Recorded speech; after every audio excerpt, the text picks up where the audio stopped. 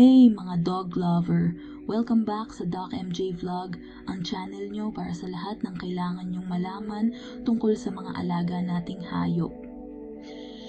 Tutulungan ko kayo sa mga nakakalitong sitwasyon na pwedeng mangyari sa mga mabalahibo nating kaibigan. Ngayon, pag-usapan natin kung ano ang gagawin kapag may nalunok ang aso nyo na hindi dapat. Una sa lahat, importante na malaman ang mga sinyeles na baka may nalunok na foreign object ang aso nyo. Pansinin kung nagsusuka siya, walang gana kumain, masakit ang tiyan, o di kaya ay may kakaibang behavior tulad ng sobrang paglalaway o pagtatae. Kapag may napansin kayong ganito, kailangan agad kumilos. Tandaan, mas maganda ang pag-iingat kaysa pagsisisi. Ilayo ang mga maliliit na bagay gamit sa bahay para hindi maabot ng aso nyo. Siguraduhin na dog safe items lang ang pwede nilang makuha. At syempre, bantayan sila palagi, lalo na ang mga puppies na mahilig mag-explore gamit ang kanilang bibig. Pero minsan, may mga aksidenteng hindi natin maiiwasan. Kung sa tingin nyo ay may nalunok na mapanganib ang aso nyo, huwag nyo siyang pasukahin maliban na lang kung payo ito ng veterinarian. Baka kasi mas makasama pa ito.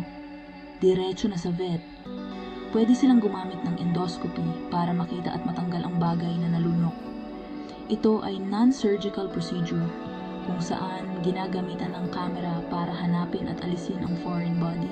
Hindi ito masyadong invasive at mas mabilis ang recovery ng aso nyo. Pero kung malaki ang bagay na nalunok o may damage na itong nagawa, baka kailanganin ng surgery. Mukhang nakakatakot, pero aalagaan ng mabuti ng vet ang aso nyo. Pagkatapos ng operasyon, sundin lahat ng instructions para masiguro ang maayos na paggaling. Sana ay nakatulong ang video na ito. Tandaan, safety first at bantayan ang mga curious nating doggies.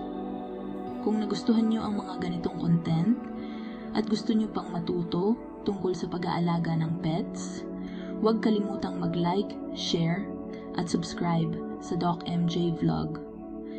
Ang support nyo ay nakakatulong para mas marami tayong ma-share na animal awareness at mapanatiling masaya at malusog ang mga alaga natin.